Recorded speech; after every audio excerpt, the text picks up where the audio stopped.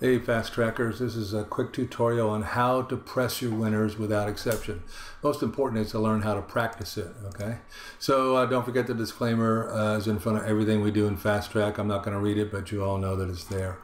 All right, so uh, the first thing you do is you go to a 240 chart and you get all your lines on there. Okay, so now what you have is you have what they actually did. All right, so you know what they did, and to practice it, you got to go back and see how would I have entered had I uh, had I seen this ahead of time. All right, so the 240 view has the uh, we're in an uptrend, and I've identified the wide open spaces for you. Those are these little red boxes here, so you can see the opportunities and where they are and how they did it. Okay.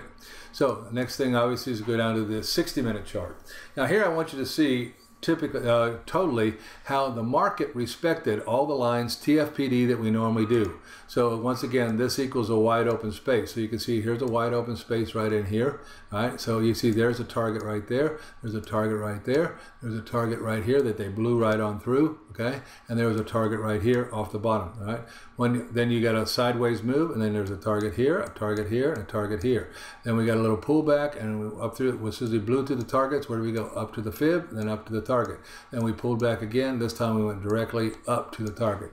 So what you now know is that if the targets are on there and you've identified them, the market probably has identified them also. Okay, so we uh, we want to be able to see both the 240 view and the 60 view. All right.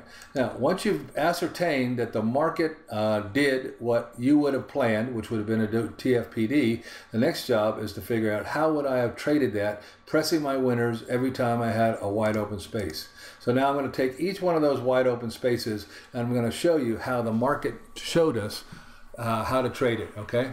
So the first thing we have to do is we have to agree that we will press our winners without exception, all right? That means in every single trade, there's gonna be at least two plus trades every time you make a trade, all right? So uh, as you can see right here, when uh, we had a pullback right here, right there, and up we go, and we have taken out this sideways move right here, right? So there's your first opportunity. You got an arrow and painted candle. Now, fast trackers don't need an arrow and painted candle, but it sure showed you that momentum came in there. The question you got to always ask yourself is, why did momentum come in here? It came in there because they took the slope out, slope uh, single line trend line, right? Right. So then they took out this top here. You can all see the break hook and go here. I could have added on that break hook and go for the target, all right? Then we get a pullback. We get a pullback all the way to the 618 fib. And you see exactly what they did. They instantaneously added a buy. They closed in reverse automatically. Now remember, this target's already hit. So now we're going to this target, right? What did it do? It went right there. All right, see that? Now on the break of that target, right, we have two targets up here. You got one here and you got one here. So we could have added a position here and we could not have added a position here because it's just a little too small. So what we still have got two positions in that place right there. So in those two wide open spaces there, you can see you got one, two, three, four. A minimum of four trades on in those two wide open spaces two on each wide open space. All right. So now we'll go to the next wide open space. All right.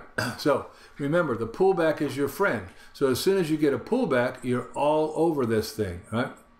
So what ended up happening here? Let me just draw this sideways market here, and you can see on the pullback here and the close in reverse an aggressive trader would have gotten that. I'm not telling you that you needed to get that, but it was there for the more aggressive trader. However, when they went up to the fib and retraced back here to this fib right here, that gave you an opportunity right there. And of course, you know, if you get a retracement, you're going to the 618 fib. I'm not trying to complicate this thing at all. I'm just trying to show you based on uh, what the market was doing, uh, uh, how you could have entered multiples, right? So then on the break of this of this fib to the upside, on the, on the next candle right up here, notice we got a break, a hook, and a go, right? So that could have been another place to enter a position. As soon as you took the barrier out right here, and you got uh, you, you could have added a position there for that target right there, the upside. When it came back here, possibly you could have got that one, okay? But well, I'm not even going to count it, all right? But no matter what, when you got a break of this one right here, and you get a break, hook, and go, you could have made that trade right there. So in, in this trade right here, there were uh, a one, two, three, four opportunities, possibly five, and possibly six. All right. All right. Then uh, this. Uh, oh, sorry, got the wrong one. I'm to go to the next slide. Somehow or another, I got an extra slide in there, upside down. Don't want to have that. All right, so here we go on this one right here. And uh, uh, you can see here that on the move to the upside, all right, we, we had a, an opportunity. The pullback is my friend. It pulls back. I got a break, a hook, and a go. All right. So if I if I missed the first one, I still got the opportunity for the second one. Let's say I missed both of those. No matter what, on this next move up, when you got a break, hook, and go here, you should have traded it up to there. Right, so at least one, maybe three in there. All right, then they pull back here, and you can see that would be a 50% fib. So you could have taken that one also. I didn't count that one, but you could have done that one. And then we got a nice big pullback. Now the pullback is my friend because we're in an uptrend. I know the pullback is doing nothing more than going down to find buyers. All right, set of twins right here. How could we have done on a set of twins? You can see exactly what they did on the set of twins. They entered immediately, okay?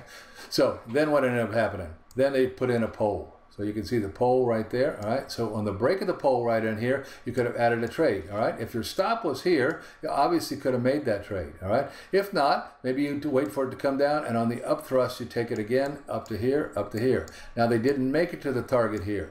So what do they got to do? They got to pull it back. Do an A, B, C retracement. The pullback is my friend. Back to the bottom, and up we go. And this time we go to the target. Right?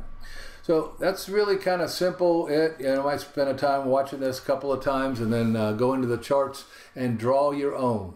Go back in the past, look at a trending move. Remember, these are trending moves. This isn't trading in a box. This isn't reversing. None of that sort of stuff. There's no, they're not dealing with that. We're in a trending move. Therefore, we're just simply seeing how we can recognize the market and recognize where we should be looking for a trade so that we can press our winners without exception. All right, that was a 450 pip move uh, if you count all the slides. And as you can see, you could have made tons and tons and tons of pips in that 450 pips. All right, hope that helps you. We'll talk with you soon.